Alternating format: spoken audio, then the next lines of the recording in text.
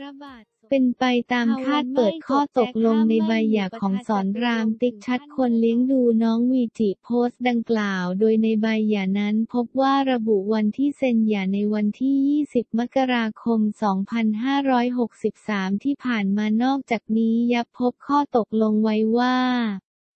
โดยคู่หย่าทั้งสองฝ่ายตกลงให้เด็กหญิงวีจิเทพพิทักษ์อยู่ในอำนาจการปกครองของคู่หย่าฝ่ายชาย เรื่องค่าอุปการะเลี้ยงดูบุตรคู่หย่าฝ่ายชายเป็นผู้จ่ายในค่าอุปการะเลี้ยงดูบุตรเพียงแต่ฝ่ายเดียว ภาพจากซอนร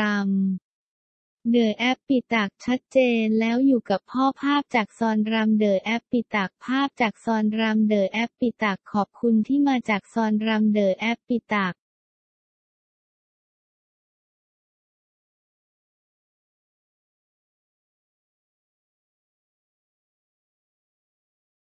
ไม่ไหวหน้าธัญญาตอบกลับแม่อิงอิงหลังบอกแม่ไม่รู้เรื่องอิงอิงอิงนภัทรธัญญาธัญญาเรศต่อมาสำหรับความคืบหน้าล่าสุดคุณแม่อิงอิงให้สัมภาษณ์เปิดใจว่ารู้สึกห่วงบุตรสาวแต่ขอดูเรื่องก่อน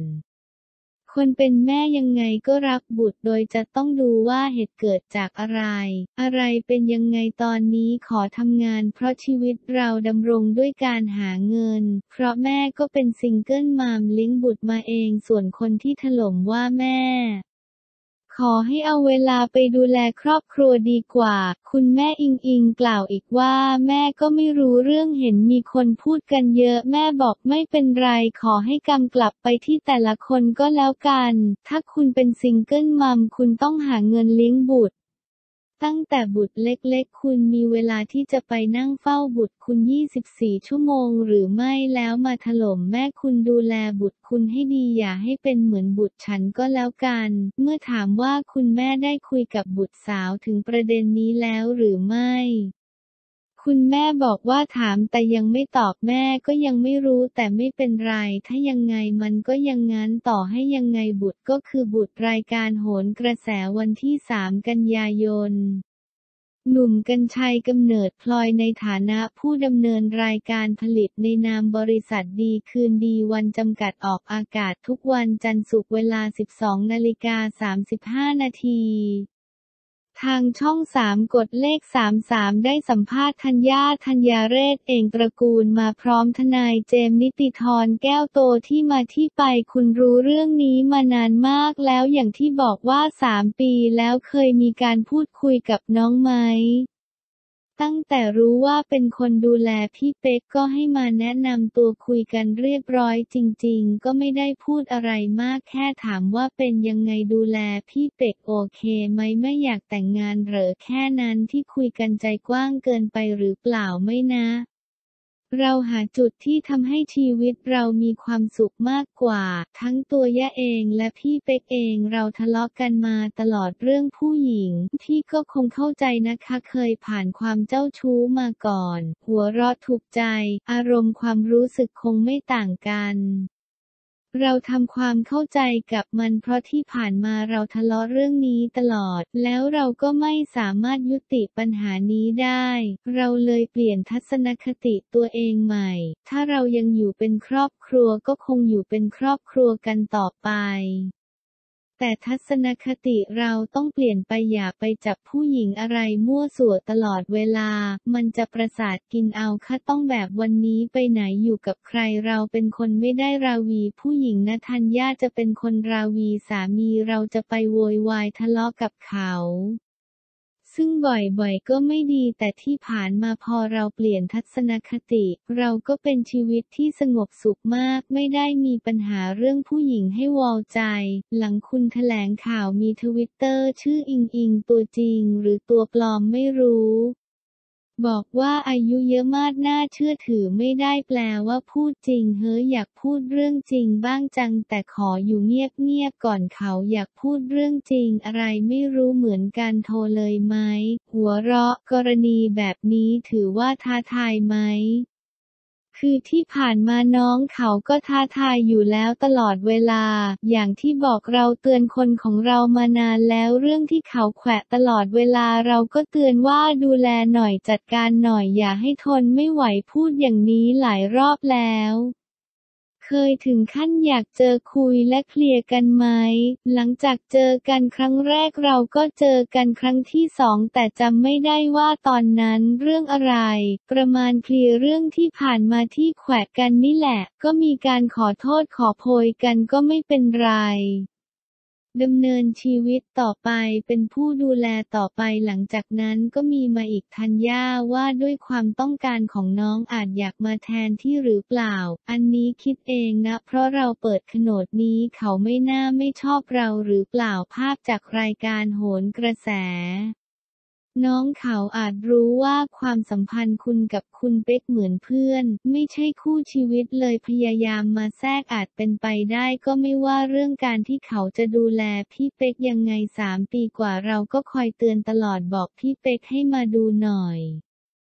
ทำไมมาแขวะเราตลอดรำคาญใจคนแคปมาให้ดูตลอดเวลาเขาอาจไม่ได้เอ่ยชื่อ แต่เราก็รู้ จนวันที่เขามายุ่งกับลูกนี่แหละ เราไม่อยากให้ข้อความอะไรส่งไปถึงลูกเรา เราไม่รู้ว่าอนาคตเขาจะโมโหแล้วส่งอะไรให้ลูกเราหรือเปล่า ที่เขาบอกว่าอยากพูดความจริงความจริงคืออะไรคุณสงสัยไม่มีอะไรเหนือความจริงไม่รู้เขาอาจมีความลับอะไรที่เขารู้แต่เราไม่รู้หรือเปล่า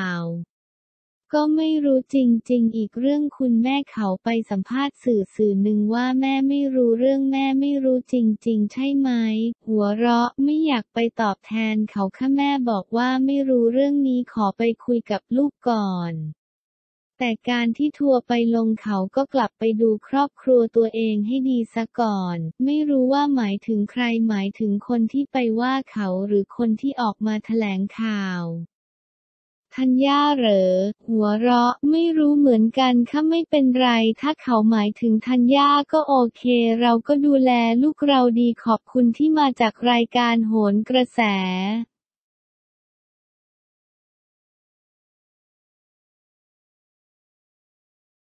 น้ำฝนทวีพรโพสต์แล้วหลังสอนรามโพสต์อย่าขาดรู้เลยเป็นคนยังไงโพสต์ดังกล่าววันที่ 3 กันยายน 2562ไอจีของสอนรามได้ประกาศอย่ากับอดีตภรรยาติ๊กบิ๊กบราเธอร์อย่างเป็นทางการโดยได้ระบุข้อความว่า เนื่องจากในระยะ 2-3 สัปดาห์ที่ผ่านมามีบุคคลมาตามหาคุณติ๊กที่บ้านและโทรศัพท์มาหาผมหลายครั้ง ซึ่งผมเองก็ทำงานเกือบทุกวันจึงขอความกรุณาผู้ใดก็ตามที่ได้ทำสัญญาหรือทำธุรกรรมทางด้านการเงินหรือด้านต่างๆ กับคุณติ๊กกนิดรินพัชรพักดีโชดช่วยติดต่อกับคุณติ๊กโดยตรงและไม่ต้องมาที่บ้านผมกับลูก เพราะผมกับลูกไม่ทราบเรื่องใด ๆ ทั้งสิ้น เพราะสถานภาพของเราทั้งสองได้อย่าขาดกันอย่างเป็นทางการเรียบร้อยตามวัน เวลาดังกล่าวและคุณติ๊กก็ไม่ได้พักอาศัยอยู่ที่บ้านของผมแล้ว เราสองคนต่างทำแค่หน้าที่พ่อกับแม่ของวีจิตามข้อตกลงที่ระบุตามเอกสารที่ระบุไว้เท่านั้น ขอบพระคุณครับผมโพสต์ดังกล่าวล่าสุดสาวติ๊กก็ได้ออกมาโพสต์ถึงประเด็นล่าสุดหลังสอนรามประกาศอย่าขาดแล้ว โดยได้ระบุข้อความว่าโพสต์ดังกล่าวล่าสุดน้ำฝนทวีพรก็ได้โพสต์แล้วหลังเคยมีประเด็นกับสอนรามและติ๊กบริโกบราเธอร์โดยได้ระบุข้อความว่า if you love someone being faithful is easy ซึ่งแปลว่า ถ้าคุณรักใครสักคนซื่อสัตย์เป็นเรื่องง่าย อย่างไรก็ตามทีมงานของเราขอเป็นกำลังใจให้กับทุกคนนะคะ ขอบคุณฟอนขีดล่างเทฟีปอน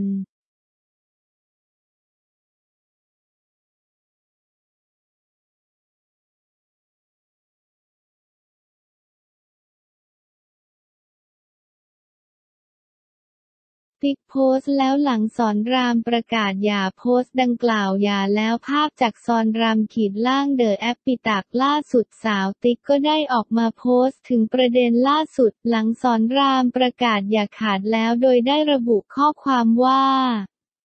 วีจิ สกิลแม่เลี้ยงลูกตั้งแต่ 6 วิค2เดย์แม่ตั้งใจให้รู้มีพื้นฐานนิสัยตรงต่อความรู้สึกนึกคิดเป็นเด็กอารมณ์ดี ยิ้มเก่งนี่คือเสยของลูกที่แม่สร้างให้แม่ยอมหัวเราะทั้งน้ำตา เต้นท่าแปลกๆให้ลูกยิ้มหัวเรา หัดให้กินทุกอย่างที่กินได้แม่สร้างเสียงหัวเราะให้ลูกสอนให้กล้าที่จะไม่กลัวล้มจะได้ลุกขึ้นและแกร่งกว่าเดิม เปิดเพลงให้ฟังตั้งแต่อยู่ในท้อง เพื่อหัวใจลูกได้มีเสียงดนตรีทำให้อารมณ์ดี แม่ทั้งคืนแม่คอยตื่นเอาผ้าห่มปิดอกลูกตลอด ท่ามกลางปัญหาและความกดดันที่เกิดขึ้นแม่พยายามหามุมสงบเพื่อปรับทัศนคติ เพื่อไม่ให้ลูกเห็นและรู้สึกถึงความอ่อนแอ เพื่อแม่ต้องการสร้างลูกให้แกร่งแข็งแรงฉลาด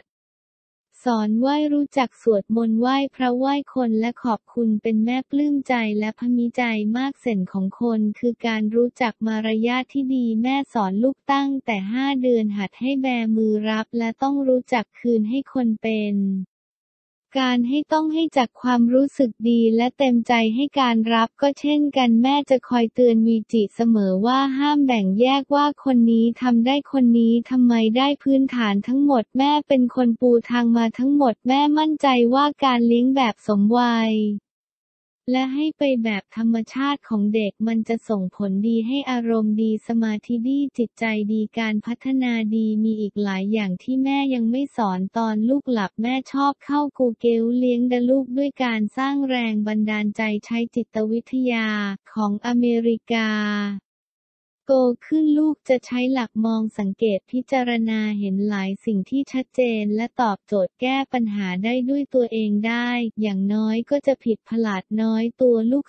3-4ขวบแม่จะไม่ปล่อยลูกแม่จะสอนลูกเอง เพราะแม่เชื่อว่าใช้สกิพิเศษ พลังความรักจากแม่รักส่งต่อสู่ลูกแม่อยากให้ลูกใช้หลักใช้ความจริงใจต่อความรู้สึกนึกคิดกล้าเผชิญหน้าแก้ไขปัญหาได้ด้วยตัวเอง ไม่มีใครไม่เคยพลาดเคยล้มด้วยสถานการณ์ ด้วยเหตุจูงใจหรือไม่ตั้งใจก็ตาม แต่การอภัยใช้หลักเมตตามีความอดทนอดกลันจะเป็นนักสู้ไม่กลัวในเรื่องที่ไม่ควรกลัว และควรกลัวในสิ่งที่ควรกลัวสติจะดับกิเลสรักโลภโกรธหลงได้ให้อยู่บนพื้นฐานที่พอดีพอเพียงพออยู่พอใช้ รู้จักการเสียสละเพื่อให้เกิดประโยชน์แก่ผู้อื่นและตัวเอง แม่ก็คือแม่แม่ทุกคนไม่เหมือนกันเลี้ยงลูกของตัวเองในแบบของเรา แบบธรรมชาติตามวัยเล่นเรียนรู้ และถึงวัยเริ่มสร้างทักษะการพัฒนาเราค่อยใส่ให้เต็มที่ แม่วิจิคือผู้ให้กำเนิดและรักลูกมากกว่าแม่ที่ไม่ใช่แม่วิจิ เรากำหนดชะตาชีวิตตเอง อย่าให้โชคชะตามากำหนดชีวิตเรา แม่เอาใจนั่งดูลูก แม่ถึงรู้ใจลูกมากที่สุดสายตาลูกแม่รู้ว่าลูกต้องการอะไร ไม่มีใครสนใจเท่ากับผู้เป็นแม่ แม่มีอะไรจะทำให้ลูกอีกเยอะถึงเวลาแล้วกับการเรียนรู้อย่างไรก็ตามทีมงานของเราขอเป็นกำลังใจให้กับทุกคนนะคะ